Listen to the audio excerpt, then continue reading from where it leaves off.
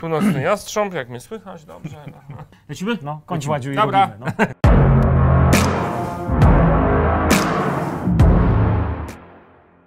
Dzień dobry wieczór moi drodzy, witają się z wami z Toyoty na Konstruktorskiej w Warszawie. Toyotowcy pełną gębą, czyli Maciej Kilin. I Robert Mulaczek. Witajcie i dzisiaj w kolejnej sesji Q&A skupimy się na temacie, który wywołał duże emocje w e, sieci, wywołał dużo komentarzy, czyli pojawiły się dwa raporty na koniec 2021 roku, raporty dotyczące zaangażowania firm w proces elektryfikacji swoich samochodów i zaangażowania firm w podpisywanie deklaracji związanych z odejściem od napędów klasycznych. I tam w tych dwóch raportach Toyota wraz z kilkoma innymi firmami została uznana globalnie za markę najmniej zaangażowaną w te procesy, czyli poniekąd nawet blokującą te procesy i od razu pojawiły się komentarze, dlaczego Toyota nie chce w tym uczestniczyć, że Toyota ma te swoje hybrydy i blokuje elektryfikację tą bateryjną i tak dalej, i tak dalej, Maciu. Toyota nie podpisała oświadczenia, że Mhm. do roku 35 definitywnie skończy produkcję e, samochodów z silnikami spalinowymi, tak? Tak Czyli jest. mówimy o nie tylko zwykłych konwencjonalnych samochodach, ale także hybrydach. Warto się zastanowić, dlaczego. No, odpowiedź wydaje się dość, dość oczywista, bo Toyota powiedziała wtedy, teraz też, że jak najbardziej do roku 35 skończymy z, z, ze sprzedażą samochodów silnikami konwencjonalnymi w Europie i to zachodniej. Dlaczego w Europie Zachodniej i dlaczego tylko w Europie Zachodniej? No pamiętajmy właśnie o tym, e, że Toyota jest marką globalną, sprzedającą samochody. Nie tylko w Europie, ale W Afryce, Ameryce Południowej, Azji, Australii. Oceanii. W związku z tym warto się zastanowić, co w tej chwili tam ludzie kupują. Samochody elektryczne jeszcze nie i bardzo długo nie. Dlaczego? Jak, jak mawiają, co kraj to obyczaj, co kontynent to inne przyzwyczajenia. I tak dokładnie jest z Toyotą. E, te przyzwyczajenia, myślę, realia. Spójrzmy na wspomnianą Afrykę. Tam od, od, od zawsze króluje Land Cruiser 70, czyli przypomnę, auto produkowane praktycznie bez żadnych zmian od roku 84. Ba, wielu żałuje, że nie można go kupić w Europie. Natomiast samochód dostępny z silnikiem 4,5 litra diesel, a więc duża jednostka, ale ledwie 200 koni mocy, więc dosyć już e, leciwa konstrukcja, ale prosta, solidna, niezawodna. Dlaczego jest to ważne, żeby w takich krajach jak właśnie w takich, w takich miejscach jak, jak Afryka był tego typu samochód? Dlaczego klienci wybierają tego typu samochód? To jest chyba oczywiste. Byliśmy tam, jeździliśmy, więc wiemy.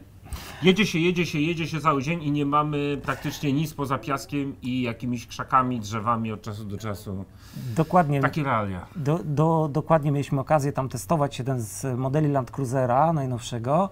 E, Przez 700 km pokonanych była jedna stacja benzynowa. Ja nie wiem, czy e, ten akurat region świata jest gotowy na to, aby zrezygnować całkowicie z takich samochodów na rzecz samochodów elektrycznych. To prawda, mm, jak sobie spojrzymy chociażby na taką Amerykę Południową, tam też dość specyficzne warunki. Tam auta są jak najbardziej proste, po to, żeby były jak najtańsze. Też mieliśmy okazję być, poddychać powietrzem. my nie byliśmy. takim skrzyżowaniu mm, e, jednej ze stolic, no daleko, daleko, daleko jeszcze tym samochodom do e, samochodów europejskich. Natomiast ważna jest tam przede wszystkim cena. Samochody elektryczne są, pomijając inne kwestie, no droższe od samochodów tych prostych, bardzo prostych samochodów spalinowych Są produkowanych. wyraźnie droższe, to jest Tak. y, często 50% więcej musimy zapłacić za dane auto z napędem czysto elektrycznym bateryjnym niż z napędem z silnikiem konwencjonalnym pod maską. No właśnie, w związku z tym e, podsumowując, e, samochody zeroemisyjne, stuprocentowo, tak, po roku 35 w Europie Zachodniej. Tak. E, tu warto wspomnieć, e, Polska też jest rozważana jako Europa Zachodnia, żeby No było właśnie, zależy jak się spojrzy, że czasem jest to Europa Środkowa, czasem Środkowo-Wschodnia, a czasem Zachodnia. No, my patrzymy na to nowocześnie, czyli my jesteśmy w Europie Zachodniej. Tak, w związku z tym ja powiem Ci jeszcze o jednej rzeczy, którą e, odpowiedzialnie nie można e, podpisać takiego oświadczenia, że rezygnujesz definitywnie z samochodów e, mm, tych nie 100% ekologicznych. Dlaczego? No spójrzmy na, nawet na e, Europę, jej energetykę. Czy jest ona już gotowa na to, żeby z dnia na dzień zastąpić samochody spalinowe elektrycznymi? Tak naprawdę rok 35 to jest prawie, prawie zaraz. chwilę, tak. To jest prawie za chwilę. Kilka, kilka danych, kilka faktów. Po pierwsze, e, do e, wyprodukowania 1 kWh energii średnio w Europie e, elektrownie emitują 226 gramów CO2. Trochę dużo, ale jak spojrzymy na realia polskie, no to to jest ponad 700 gram. Dalej, kraje nordyckie, Szwecja, Norwegia, no tam 13 gram. W związku z tym tam od lat obserwujemy już mm, zdecydowany zwrot w kierunku samochodów elektrycznych. Natomiast w tej części Europy naszej jeszcze kilka chwil e, będziemy musieli na to poczekać. Powiem Ci coś jeszcze, Robert. To nawet nie chodzi o to, jaka ta energetyka jest, tylko ile tej energii jest. E, Ostatnio rozmawiałem z kolegą z Francji. Tam mm, analizowano dane dla Paryża, żeby 10% samochodów jeżdżących po Paryżu było elektrycznych w 100%, potrzeba by było tylko dla Paryża wyprodukować dodatkową elektrownię jądrową. Czyli można to zrobić, oczywiście, że można, tylko nie stanie się to z dnia na dzień. Wymaga to kilka, kilka chwil, To, kilka lat. Maciek mówił, to jeszcze tylko doprecyzuję. Chodzi o to, że ta emisja wynikająca, pojawiająca się przy produkcji danej jednostki e, prądu wynika z faktu e, zekologizowania z procesu produkcji. I tak jak Maciek powiedział, Skandynawowie praktycznie to w stu, no może stu nie, ale w większości opierają się na odnawialnych źródłach energii. Stąd ten No prąd jest tak niskoemisyjny w swojej produkcji. Ale powiem Ci, jesteśmy już blisko coraz bliżej. Mówię my, Europejczycy, Mhm. zostawmy na razie energetykę polską, bo rok 20 był pierwszym rokiem, kiedy ilość energii wyprodukowanej z tych źródeł odnawialnych przekroczyła tę z energii e, e, paliw kopalnych. Także Czyli jesteśmy ta na dobrej drodze. ma sens. Deklaracja Tak, ale w dłuższej 2035 perspektywie czasu. Roku. Ma sens. E, moi drodzy, bo ja jeszcze nawiązuję, tu Maciek o tym wspomniał, do sytuacji po tych dwóch raportach. Nasz pan prezes światowy Toyoty, pochodzący z rodziny Toyody, czyli Akio Toyoda, zorganizował w Tokio konferencję prasową, na której nie tylko on sam się pokazał, nie tylko właśnie mówił o tych sprawach, kiedy będziemy czysto zeroemisyjni, czysto elektryczni, kiedy będziemy mieli jakie napędy wprowadzane, kiedy jakie auta się pojawią, ale co więcej, pokazał te samochody ze sobą i nie na zdjęciach, tylko fizycznie samochody stojące na wielkim placu w wielkiej hali za jego plecami. Ale zanim o tych autach pogadamy, to Maćku, może generalnie o co chodzi tak naprawdę w Toyocie z tą drogą nisko czy zero emisji, ku niskoemisyjności, bo my, to nie oznacza, że Toyota przekłada wajchę, z jakiej będzie tylko elektryczna, a nie będzie miała na przykład hybryd i pluginów. Że tak, no, zawsze o tym mówiliśmy, nie jest to tajemnicą, że tak naprawdę napęd elektryczny jest przyszłością, jeżeli chodzi o motoryzację. Samochody z napędem hybrydowym to jest taka, powiedzmy, wersja przejściowa, faza przejściowa e, na pewnym etapie rozwoju motoryzacji. W związku z tym nie możemy z dnia na dzień przełączyć się na samochody elektryczne, to musi być stopniowo. Rozmawialiśmy już o, o energii, z tego z czego jest produkowana, ile jej jest. Tak. Powiem Ci jeszcze o jednej kwestii, dlaczego nie możemy tego zrobić jutro. Chodzi o baterie, a konkretnie o ilość baterii dostępnych. Jak wiadomo, baterie produkowane są z pierwiastków tak zwanych rzadkich, które, no jak nazwa wskazuje, zbyt często nie występują na Ziemi. Ja może tylko wejdę Ci w słowo. Mamy generalnie w samochodach w tej chwili hybrydowych, pluginowych czy elektrycznych jeszcze cały czas dwa typy baterii. Litowo-jonowe, o których wszystko się mówi się często, bo to takie same teoretycznie baterie jak te w telefonach czy e, akumulatorki dostępne w tej Tak. chwili. I te starsze niklowo-wodorkowe, które praktycznie już zostały skazane na wymarcie.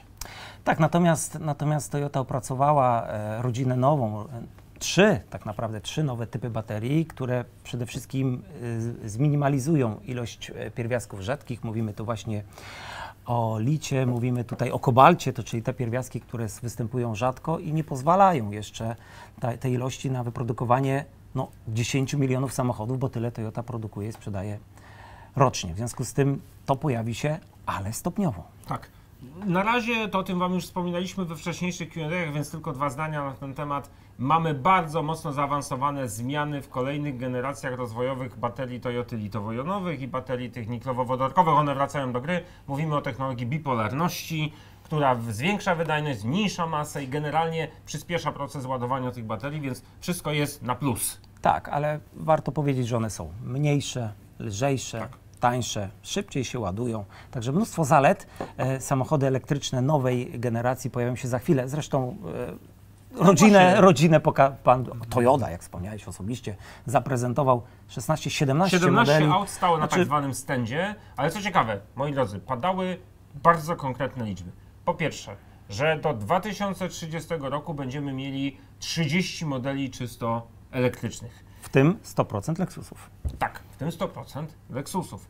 Że do 2035 roku, o czym Maciek powiedział, Toyota będzie w Europie Zachodniej zeroemisyjna, w pełni elektryczna ze swoimi samochodami, ale Stopniowo na Tak, innych wiadomo, regionach wiadomo. E, świata też będzie Tak oczywiście jest. dążyła do zeroemisyjności. Tak jest. I co więcej, e, do 2030 znowu roku, ta magiczna data pada, e, Toyota osiągnie zdolność produkowania i sprzedawania rocznie 3,5 miliona samochodów elektrycznych bateryjnych. No, te baterie muszą powstać nowej generacji, bez tego się nie da. Czyli mówimy o 35% Mniej więcej, tak. mm, Mniej tak, więcej. samochodów. Tak I to jest. jest wartość taka realna, Mhm. pod którą można się, można się e, podpisać. No, jeszcze na chwilę wróćmy do tych samochodów, bo to mnie strasznie, e, jak wiesz, emocjonuje. Ja zobaczyłem te zdjęcia, zbliżenia, tam mieliśmy i sedana, i całą rodzinę BZ-ów, pięć samochodów, i mieliśmy inne elektryczne, bateryjne Toyoty i Lexusy, i pick-upy, i terenówki takie prawdziwe jak FJ, który wiesz, że jestem fanem niesamowitym tego pudeł, pudełkowatego samochodu, ale były też crossovery małe, crossovery średnie, crossovery kompaktowe, Sportowe. SUVy, sportowe samochody. Znaczy, Robert, e, Wow, po prostu. pozwól, e, dziwię się, że się dziwisz. Już. Mówimy o największej firmie motoryzacyjnej na świecie, w związku z tym wiadomo, że jeżeli rozmawiamy o stopniowym dojściu do zeroemisyjności w roku 1935, nawet w Europie, tak? Mhm. W Europie Toyota ma kilkanaście modeli, e, Tak prawie 20 już. E, w, związku, w związku z tym no, nie zdanie się to z dnia na dzień, tak? Wiadomo, że przygotowywana jest cała rodzina samochodów i tam akurat były zaprezentowane po jednym samochodzie z każdego segmentu. Ale jak wiesz, to nie jest wszystko, co, nad, czym, nad czym Toyota e, pracuje. One stopniowo będą się pokazywały, tak w Europie, jak na, i w innych e, częściach świata. O Chiny na przykład, tam to jest rynek w tej chwili na samochody elektryczne nawet większy niż, e, niż Europa. Stopniowo, jak najbardziej, Toyota będzie wprowadzać po każdym samochodzie. Wracając do początku naszego spotkania i do tego raportu, chciałbym wszystkich uspokoić. Toyota pracuje nad samochodami zeroemisyjnymi. To jest fragment tego, co, e, Nad czym co, pracuje co, Toyota, tak, co się pojawi, bo modele. mówimy o samochodach na, na, na każdy region świata, trochę innych.